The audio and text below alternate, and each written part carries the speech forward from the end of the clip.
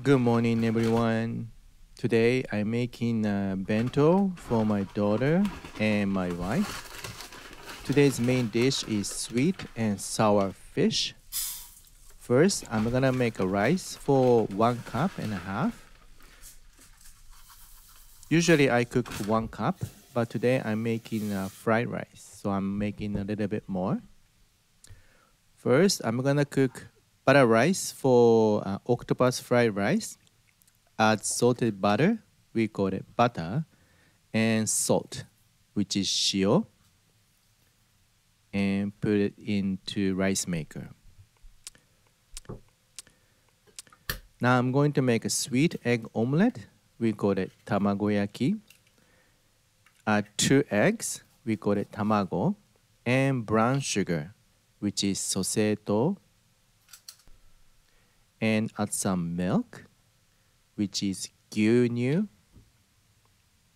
I'm going to use rice oil, which is kome abura, and mix well. And add one third of egg mixture. Mix a little bit and roll over. And add another one third of egg mixture and flip over. At the end, I put everything and this is done.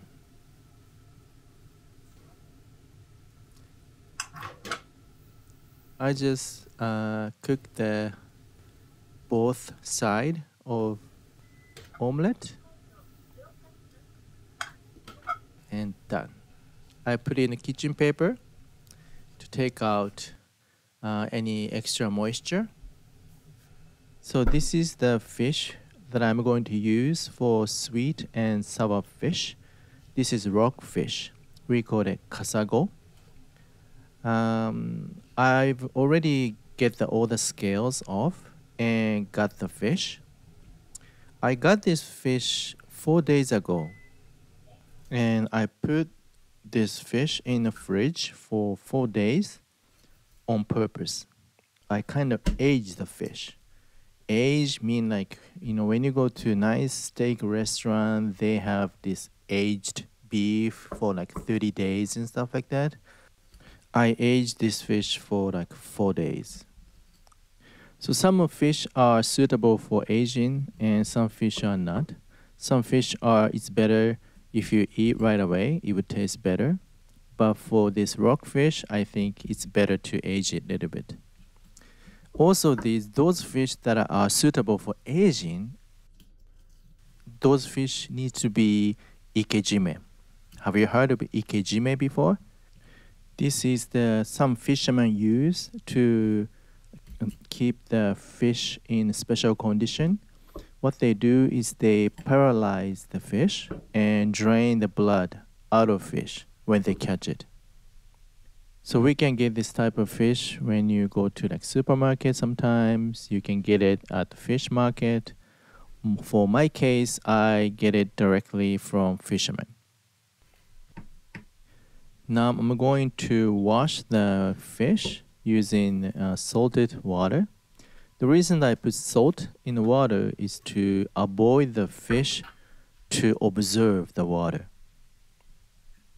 I just clean the fish, taking out all the leftover scales and stuff like that, and using kitchen paper to take out any excess water. And they are done. Now I'm going to just remove the uh, pin bones uh, from the fish using these uh, tweezers. I'm also going to take off the skin. You can leave it on, you can take it out, doesn't matter. But I feel like taking off, so I took off the skin out of fish. They are ready. I'm going to cut some vegetables for uh, sweet and sour fish. This is colored pepper, we call it kara piman, and onion, we call it tamanegi. I will add these vegetables into sweet and sour fish. Now I'm gonna make a sweet and sour sauce. Add rice wine, which is sake or nihonshu. Also add rice vinegar. We call it And add soy sauce, which is shoyu.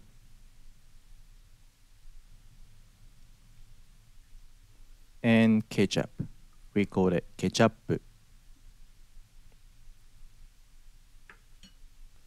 And sweet rice wine, which is honmirin.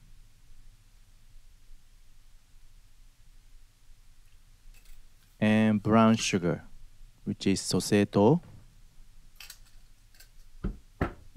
And mix a little bit.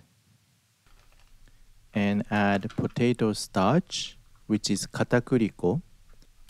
And potato starch will thicken the sauce quickly.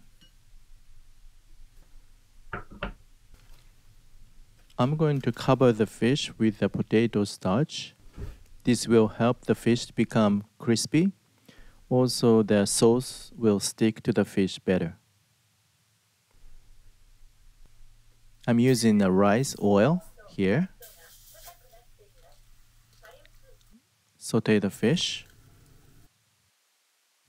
Wait until they become crispy and flip over. You don't need to cook the fish completely here. I will cook the fish again with the sauce later. I will just stir fry the vegetables. Stir fry a little bit and then put back the fish and add the sweet and sour sauce. Because I added potato starch into the sauce, it will thicken right away. You can, uh, if you don't add potato starch, you can make the same condition if you boil the sauce uh, for a long time. But I don't want to overcook the fish and vegetables, so I put the potato starch. And fish are done. So now this is raw octopus. We call it namadako. I'm gonna make uh, uh, octopus fried rice.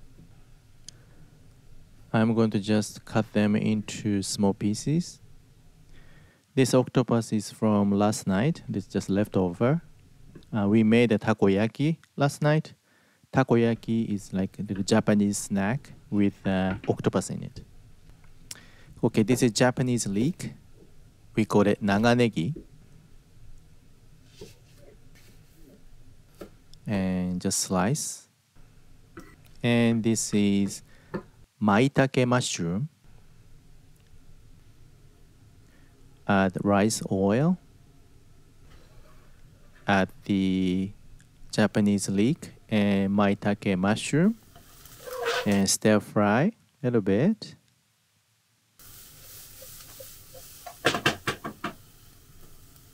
And add octopus.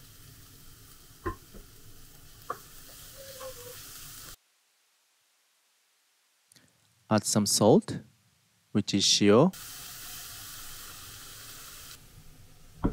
And rice is ready, nice and fluffy. And add them directly into the pan and make uh, fried rice.